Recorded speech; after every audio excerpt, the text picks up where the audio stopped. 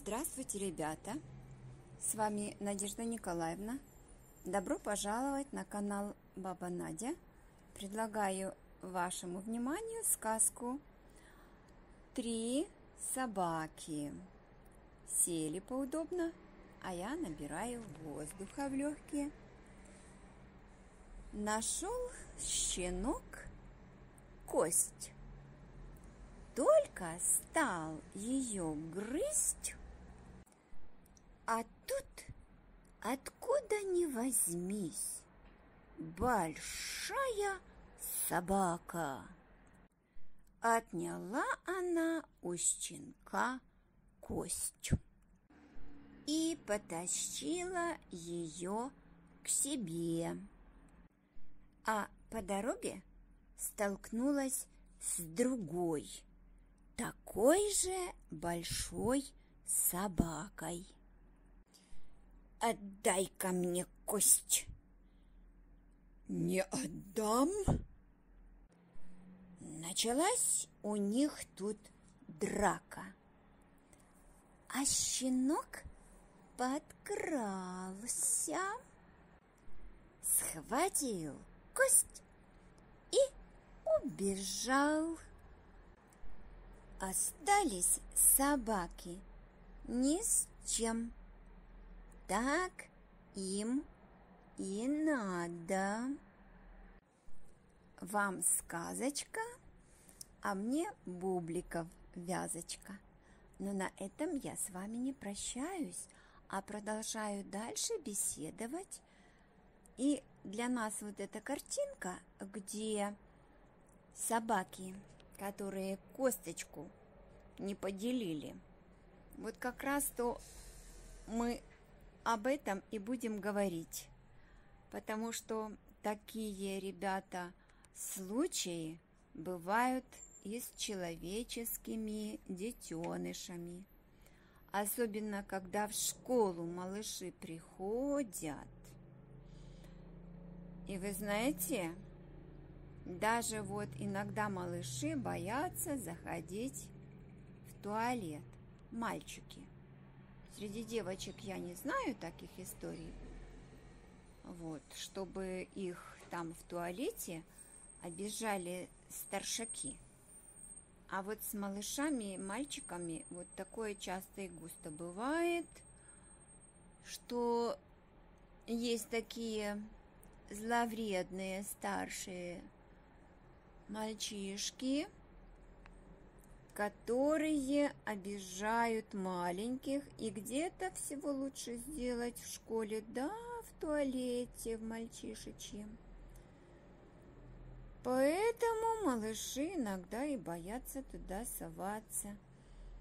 То ли денежку заберут у малышей, да, то ли даже телефон – вот поэтому, вы знаете, в некоторых школах, вот, может быть и правильно, что камеры ставят, чтобы было неповадно, чтобы понимали, что увидят, кто это таким делом занимается. Вот, и не будут с ним дружить. Вот. Ну, вы знаете, а есть такие вот детки, которые очень часто пытаются сделать кому-то плохое. Но они по-всякому. Они могут, э, когда подрастают, тогда плохое делать уже даже и взрослым людям. Но только они хитрые – они нападают именно на беззащитных. Да, были случаи, правда, о них не хочется говорить, но я о том, чтобы вы, ребята, умели себя защитить. Можно в школе громко кричать. Да, учительница услышит или дежурная по этажу и забежит. Да, Поэтому надо же как-то защищаться. Ну, конечно, эти псы, которых вы видите перед собой, они, наверное, вот как раз относятся к категории тех плохих больших мальчиков, которые в школе обижают малышей. Почему они сцепились друг с дружкой? Потому что жадничали, да? Потому что... А по силе они почти одинаковые, да? Ну, конечно. Сильный слабого не хочет трогать. Наоборот, хочет трогать, да. Это он просто не хочет трогать себе равного. Ну, а тут так получилось, что косточку нашел то. Не нашел, а отобрал у щенка. Вот этот с коричневатым окрасом пес. А отобрал серый пес у коричневого. Ну вот они и закружились